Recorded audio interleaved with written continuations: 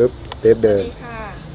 วันนี้ดิฉันสถิดาพรดีประเสริฐนะคะ ก็จะขอนำทุกท่านมาพบกับรายการช่วงแนะนำช่วงของรายการไลฟ์สไตล์เกษตรพารวยนะคะ ซึ่งวันนี้จะรับหน้าที่เป็นพิธีกรภาคสนามเองนะคะ ก็คือจะพาทุกท่านมาดู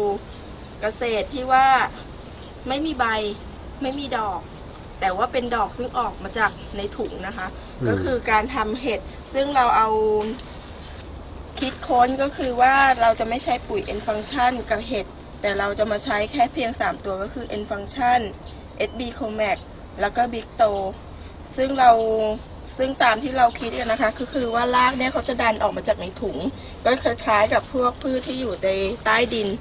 ซึ่งอย่างตรงนี้พี่วิสุทธ์ตัวนี้หัวถุงจะแตก คล้ายๆ กับพืชที่อยู่ใต้ดินอืมเขาจะแทงออกมาอันนี้ถ้าเราใส่บิ๊กโตเข้าไปการออกมาของเขาจะเป็นอย่างนี้ อันนี้คือเห็ดเป่าฮื้อ เห็ดเป่าฮื้อแล้วจริง ๆ ทั่วไปจะออกถุงละแค่ดอกเดียวครับแต่เมื่อฉีด SB Comax เข้าไปแล้วก็ Acting แล้วก็ตัวบิ๊กโตเข้าไปเด็ดเห็ดจะออกมาแบบเยอะมากบางถุงนี่สิบกว่าดอกอะสิบพี่กระดอกเลยนะครับค่ะ ใช่โอ้ดีแย่อันนี้ปกติแล้วเห็ดตระกูลเนี้ยเจ็ดวันจะออกแล้วก็หยุดเจ็ดวันอืมแต่นี้สุดเก็บไปได้ประมาณ สิบสองสิบสามวันแล้วยังออกไม่หยุดไม่เลหย ยุดเลยนะครับ เมื่อเช้านี้ก็เก็บไปได้ห้าสิบหกโล โอ้โหเพียงแค่พันก้อนนะคะของที่เห็ดกระเป๋าพื้นโอ้โหพันก้อนสามดอกประมาณสองขีด อื้อหือซึ่งเป็นอะไรที่ตอนนี้ราคาก็ค่อนข้างดีเหมือนกันอยู่ที่สี่สิบห้าสิบบาทสี่สิบบาทนะ ค่ะพี่ โอ้โหแล้วอันนี้ก็ออกรอบสองเลยดอกเขาก็จะออกออกจะย่อมนิดนึง อืมอันนี้คือเห็ดรอบสอง โอ้โหใหญ่ถุงที่สอง ใหญ่โตมากให้พี่ดูตรงนี้ครับ ให้พี่ดู การออกของเขาอื้อหือ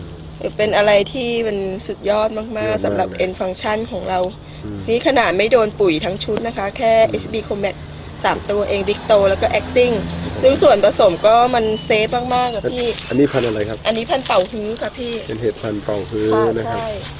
ใช้แล้วเนี่ยทั้งหมดกี่ก้อนครับในนี้อันนี้หนึ่งพันก้อนค่ะหนึ่งพันก้อนเก็บต้นได้ห้าต้นสิบกว่าโลต้นทุนในก้อนเท่าไหร่ละครับห้าบาทเองค่ะพี่ก้อนห้าบาทเองค่ะนะครับเนี่ยเดี๋ยวจะให้พี่วิสุทธ์ซูมเข้ามาใกล้ครับๆอันนี้คือลักษณะการออกของเขา จริงๆ แล้วถ้าพอเด็ดดอกปุ๊บตรงนี้ ข้างในดำๆนี้ที่เราเห็นนี่คือ ตัวที่จะออกมาใหม่เป็นเชื้อครับ ค่ะ จริงๆ แล้วเจ็ดวันเขาก็จะหยุดอืมนุ่นนอนเขาจะออกเขาก็จะหยุดแล้วครับผม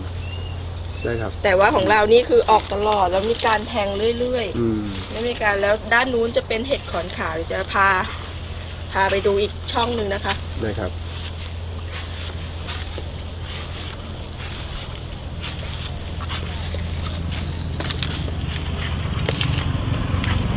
อันนี้ส่วนช่องส่วนทางนี้ก็จะเป็นเห็ดขอนขาว อันนี้จะเป็นเห็ดทางภาคอีสาน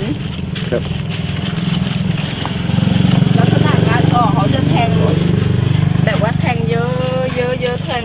ไม่จะไม่ ลักษณะการออกอืมเขาจะไม่เหมือนกับพวกเห็ดเป่าฮื้อ โอเคครับเดี๋ยวเดี๋ยวผมจะให้ท่านผู้ชมได้ดูภาพไปเรื่อยๆนะครับตอนนี้